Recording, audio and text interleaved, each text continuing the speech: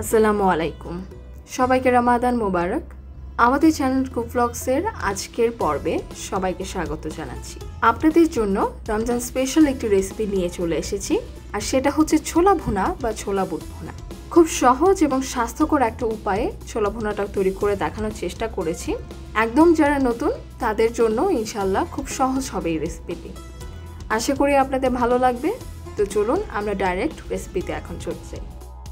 ছোলা ভুনা করবার জন্য আমরা দুই কাপ পরিমাণ ছোলা অ্যাটলিস্ট ছয় থেকে সাত ঘণ্টা ভিজিয়ে রেখেছিলাম যাতে করে পরবর্তীতে আমাদের এটা সিদ্ধ করতে সুবিধা হয়।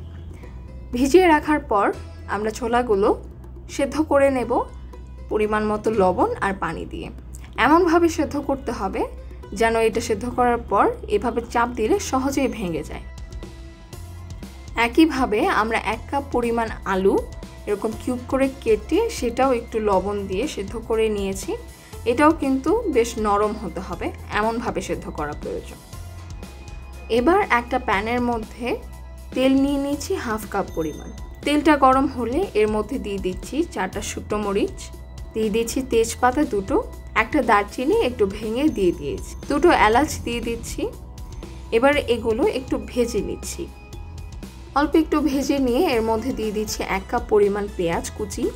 পেঁয়াজটা এরকম চিকন করে কেটে নেওয়া আছে। পেঁয়াজগুলো দিয়ে একটু নরম করে আমরা ভেজে নেব।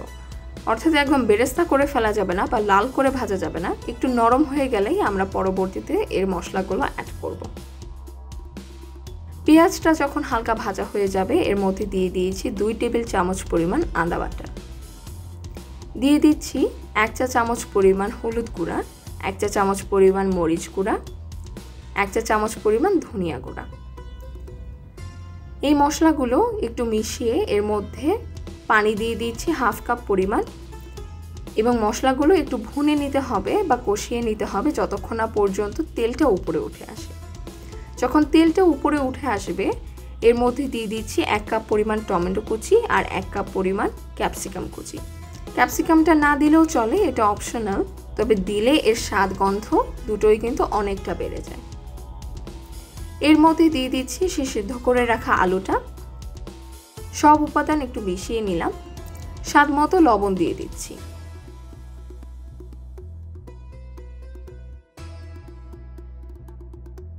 সব উপাদান একটু ভাজা ভাজা করে নিব। এরপর এর মধ্যে দিয়ে দিচ্ছি দুই চা চামচ পরিমাণ জিরা গুঁড়া। ছোলা ভুনার ক্ষেত্রে আমরা অন্যান্য মশলার চাইতে জিরা গুঁড়াটা একটু বেশি দিই। এখন এর মধ্যে ওই যে সেদ্ধ করে রেখেছিলাম ছোলাটা এবং পানি ঝরিয়ে রেখেছিলাম, সেটা দিয়ে দিচ্ছি। ছোলাটা দিয়ে এর মধ্যে এক কাপ পরিমাণ পানি দিয়ে দিচ্ছি। পানিটা দিয়ে কিছুক্ষণ রান্না করব যাতে করে মশলাগুলো ভালো মতো ছোলা এবং আলুর ভেতরে ঢোকে। সব তো সেদ্ধ করাই আছে, এখানে সেদ্ধ করার আর কোনো বিষয় নেই। শুধুমাত্র মশলাটা ঢোকার জন্য একটু পানি দিয়ে আমরা এটা ঢেকে রান্না করব। মাঝে মধ্যে ঢাকনাটা খুলে একটু নেড়ে দিতে হবে যাতে করে পানিটা শুকিয়ে যায়।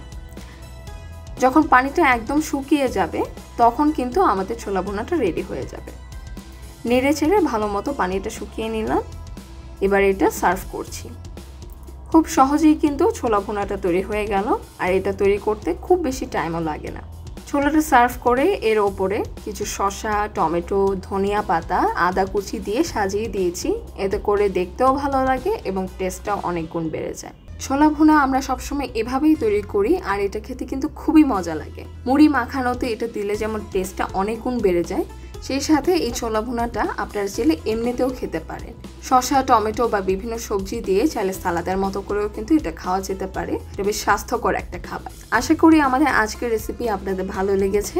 যদি ভালো লেগে থাকে তাহলে অবশ্যই এই ভিডিওতে একটা লাইক দেবেন এবং আপনার ফ্রেন্ডস অ্যান্ড ফ্যামিলির সাথে শেয়ার করবেন। আর এরকম নিত্য নতুন রেসিপি পাওয়ার জন্য অবশ্যই আমাদের চ্যানেলটা সাবস্ক্রাইব করে রাখুন। আজ এখানেই শেষ করছি। থ্যাংকস ফর ওয়াচিং জাজাকাল্লাহ।